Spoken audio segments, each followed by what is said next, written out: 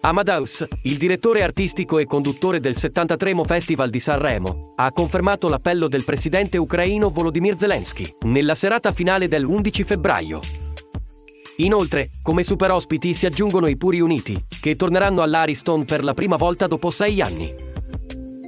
I membri della storica band hanno spiegato che hanno deciso di tornare a Sanremo, perché per loro quel palco avrà sempre un valore affettivo molto forte.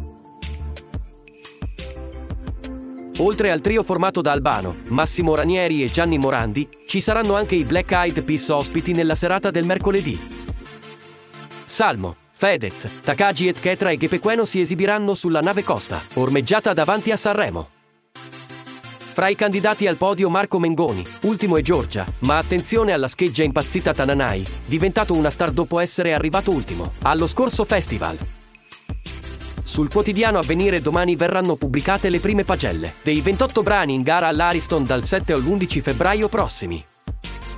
Per quanto riguarda Madame, la giovane e lanciatissima cantante indagata per una presunta falsificazione di Green Pass, Amadeus ha ribadito che sarebbe un gravissimo errore estrometterla. Chiara Ferragni, Francesca Fagnani, Paola Egonu e Chiara Francini saranno le co-conduttrici della manifestazione. Ognuna di loro ha proposto di affrontare un tema all'Ariston, tematiche importanti secondo Amadeus.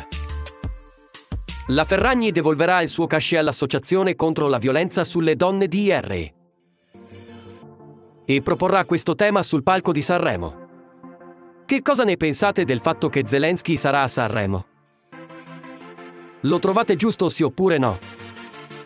A voi i commenti! Metti mi piace e iscriviti al canale per ricevere gli aggiornamenti. Seguici anche su Telegram per ricevere le notifiche in tempo reale. Trovi il link in descrizione.